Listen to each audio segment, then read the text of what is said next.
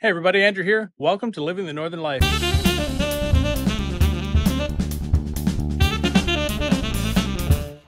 Today, we're working on a new little project here. We bought a light from Costco a long time ago. I seen something similar like this on YouTube and I thought, hey, I've got a great project for this.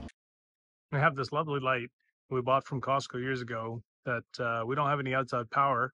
So I've got a special plan in mind for this. We bought these lights from Amazon, and we're going to take off the top bulbs and uh, put these inside. They're all solar powered. We'll get them charged up, put these inside, see what it looks like tonight. All right, so I'm just making a rat's nest here of these cables. I'm going to put it inside the light bulb and uh, close it up.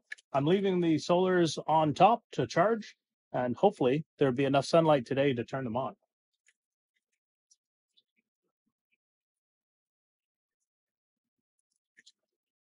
Not fooling with any of the electronics that are in here uh, or anything like that. Just putting it in.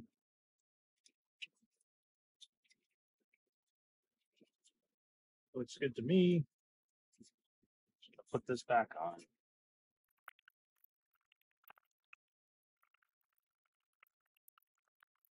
And if these guys do what we're hoping, we may glue the stands in the middle to create the solar and then be able to bolt it in in the bottom. That's it for now, though. All right, so we literally uh, epoxied these guys to the uh, top of the lamp. Um, they turn on. I'll show you a picture of that tonight. Uh, we use this LePage Speed Set Epoxy Instant Mix. Uh, it says you got four minutes to use it, and then it's like fully good to go in 15 minutes. So I'm just going to stand it up in the sunlight over here. And uh, when it comes on tonight, I'll take another picture. So we're not sure exactly where it's going to get mounted on to our new little deck or at the property, but it won't matter because we'll be able to spin this thing and uh, face it towards the sun. It's in the sun right now, obviously not the best way, but we're just testing for now. All right, so as you can see, it's getting a little bit dark, but these are what our lights look like. I think it looks amazing. Well, that's going to be it for this one, guys. If you really like that, give us a thumbs up. Like I said, we did buy these from Amazon. There was a set of three. It came in one package. I think it was $24 or something like that. So not not terrible. Uh, not you know not going to break the bank. Uh, we did have to buy the epoxy to make this thing stick to the lamp. I think that was about $14 or so. Um, but like we're really enjoying it. So what we have to do now is uh, to be able to mount this uh, to our new deck um, I was going to move it to the property, but uh, my wife likes it so much now, uh, she doesn't want to get rid of it.